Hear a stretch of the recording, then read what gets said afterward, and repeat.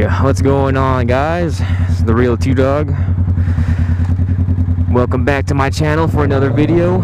It's actually been a while since I recorded. I don't know if y'all have noticed, but uh, there has been a period in time where I haven't uploaded anything for several weeks.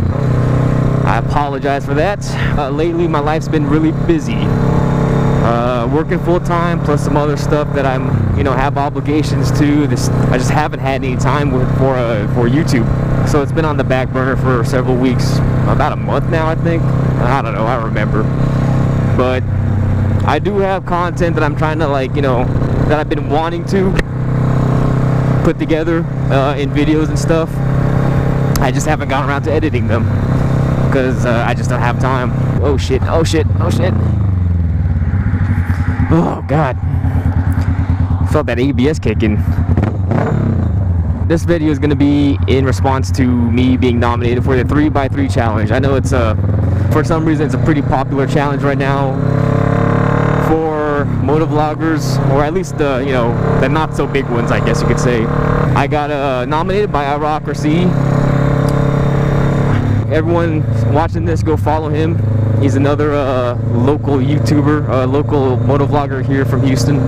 And the 3x3 challenge, that is a challenge where the motovlogger has to uh, say three things about himself that his subscribers and, and viewers might not know about him personally. And then nominate three other motovloggers to uh, do the same. So here it goes, number one. A lot of you know I live here in Houston, Texas. But a lot of you probably don't know that I was originally born in California. I was originally born in the San Francisco, specifically the Daly City area of California. So if any of my Cali folks who are following me, you know, hey, what up? Number two. And now a lot of y'all know that I am Asian. Because, you know, you might have, because I show myself on video and y'all see my pictures on my Instagram. Follow me on Instagram, by the way. But the question is, what kind of Asian am I? I get mistaken for all kinds of Asians for the except for the right one. I'm a Filipino, actually. What the hell is this? Oh, a police escort. Ugh. But yeah, Filipino, born in San Francisco, lived in Daly City.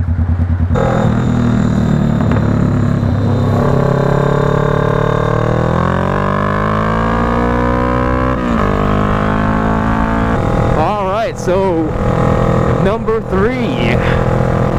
Last but not least fact about me that you guys might not know.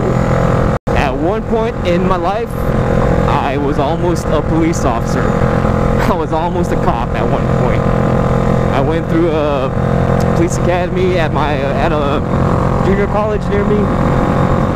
Graduated, passed, got TCOLE certified, which is the Texas uh, law enforcement something or other.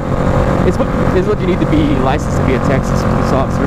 But anyways, I got all that, but I had such bad luck in getting hired by police departments that eventually I just gave up and uh, moved on.